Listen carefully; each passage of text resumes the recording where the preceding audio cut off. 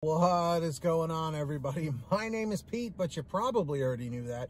But in case you didn't, you guys are watching the one and only Paid to Drive, and of course, Paid to Drive vlogs coming at you with another brand new video. I hope you're all doing great out there. So ladies and gentlemen, if you drive for apps like Grubhub, DoorDash, Uber Eats, or any of the others, you're in the right place to stay up to date with what is going on in the gig economy. So get started right now for free. Hit that red subscribe button down below. Turn on all notifications so you're always notified whenever I post something new. And of course, hit that like button down below. It just lets YouTube know I'm doing a good job. And let's jump on into this. So, just a quick disclaimer.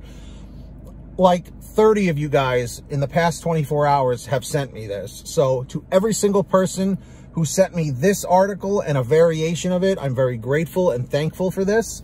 And also a big shout out to Michael from Delivery Driver Pit Stop for also bringing it to my attention. I appreciate it, bud.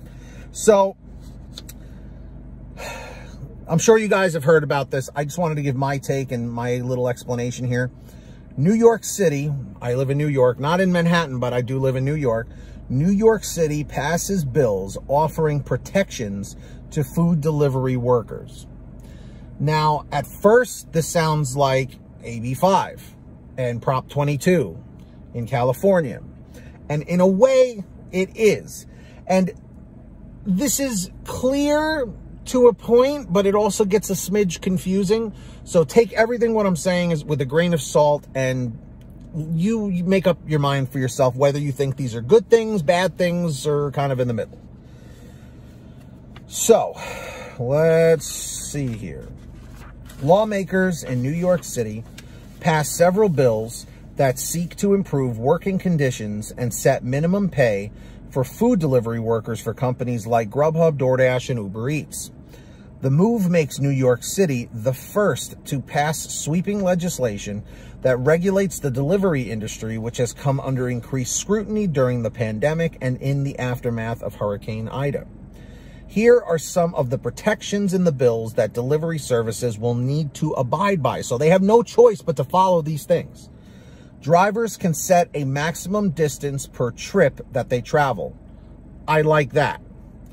Food delivery apps can't charge couriers for payment of their wages and they have to pay delivery workers at least once a week. Now, when they say can't charge couriers for payment of their wages, are they talking about like the, the quick pay thing to get paid earlier? I was a little confused with that, so maybe someone in the chat or the comments can clear that up. But I like the part where they have to be paid per every every week, at least once a week, which they've been doing anyway. Uh, drivers can choose not to accept trips over bridges or in tunnels. Love that. Don't have to deal with that in my market in particular, but in Manhattan you do. Quite a few. Food delivery apps can't solicit a tip unless they disclose how much is paid to the delivery worker and whether or not it's available immediately or paid in cash. What I think that means is soliciting a tip from the, the customer, I'm guessing, right? They have to show the customer that we're only getting $3. So I guess the customer realizes, oh crap, I should probably tip on top of that. I think. So correct me if I'm wrong, but of course, please re be respectful. Apps have to credit gratuities to workers and notify how much was added and if a customer removed the tip and why. I like that. Applications have to inform the delivery worker of the total compensation including gratuities daily. I really like that. Food delivery services need to add a provision in contracts with restaurants that let couriers use bathrooms if the courier is picking up a delivery. I love that. I think this is a great thing, okay? One bill requires the Department of Consumer and Worker Protection to complete a study on food delivery workers and establish rules on the minimum payment required per trip. We recognize the unique challenges facing delivery workers in New York City and share the goal of identifying policies that will help Dashers and workers like them, a DoorDash spokesperson said. We will continue to work with all stakeholders, including the City Council, to identify ways to support all delivery workers in New York City without unintended consequences. Grubhub said it supports the bill. So obviously Grubhub is okay with these things. These bills are common sense steps to support the delivery workers who work hard every day for New York's restaurants and residents. Grubhub spokesperson Grant Klinzman told CNBC, ensuring they receive a living wage and have access to restrooms isn't just a good idea, it's the right thing to do, which I agree with.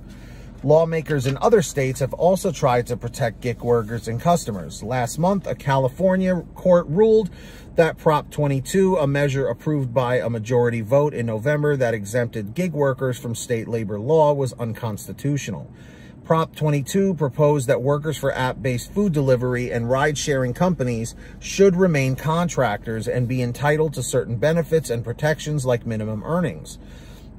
Uh, in August, Chicago filed suits against DoorDash and Grubhub for allegedly using unfair business practices and deceiving customers. Both companies called the suits, uh, suits baseless. Meanwhile, Uber, DoorDash, and Grubhub recently sued New York City over a bill that limits how much the companies can charge restaurants. In July, DoorDash and Grubhub sued San Francisco after the city introduced a permanent 15% delivery fee cap and DoorDash filed a separate suit against New York City earlier this month over a law that requires delivery companies to share more customer data with restaurants. An Uber spokesperson was not immediately available for, con for comment. So, most of these things sound good, okay? It Based on this, maybe I'm just not getting it totally, but based on this, it, it doesn't sound exactly like Prop 22 where it would like treat drivers more like, you know, the employees and stuff like that. Um, this sounds like this is a step in the right direction. Okay. And again, it mentions New York City. I don't live in the boroughs, so I don't know if this is going to impact me directly because I am outside of that area. So we'll have to see what happens and I'll keep you guys updated. So just out of everybody watching in the chat or the comments, do you think these are all good things? Do you think they're bad things? Do you think they're kind of in the middle? What are your thoughts on that? Um, so yeah, let me know down below. If you guys ever want to send me anything for a video or have a question or a comment, email me is the best way to do it at paid to drive stories at gmail.com. Or for a quicker response, you can message me through Patreon at patreon.com forward slash paid to drive. Link is in the description down below or in the pinned top comment. And anyone who signs up, I give you guys shout outs in all my new videos. So when you hear your name called, uh, leave a comment and say, hey, Pete, I heard my name.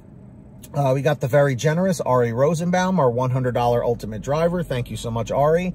We've got the very generous Samantha Michaels, Brian Pomeroy, Brian Medina, Heidi Barnes, Ivan Jerome Gilroy, Joe Valerio, Angela Counts McCarty, Kurt Paul, Lee Peacock, Tulsa Todd, William Boudreau, Laura Love, Agus, Tom Perry, Alan G. Van Horn, Lawrence Brown, Drew Hanor, Fernando Carranza, Frank Haviland, Fresh One, Jason Casta, Justin Case, Lulu Laura, Natalie Mosley, Sarah Keston, Scott Freisner, Sherry Cassidy, Stephen Neely, Joyce Hine, Brian Richardson, Kenny Bess, Ginny Thomas, Candice Mitchell, John Bonacci, Matt Epperson, Nick G, Stacy Miller, Terrence Pacheco, and Valerie Brown. So huge shout outs to all of you. Sign up. Link is in the description of the pin top comment.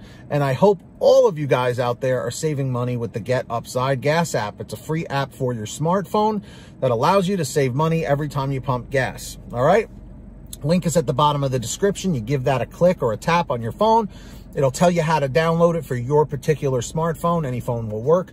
You go to your gas station, pump your gas, print out your receipt, take a picture of your receipt with the Get Upside Gas app, and within 48 hours or so, you'll get anywhere from 15 cents to 45 cents a gallon back, which is pretty fantastic. And if a friend or family member signs up using your code, you'll get paid every time they pump gas. It's called Get Upside.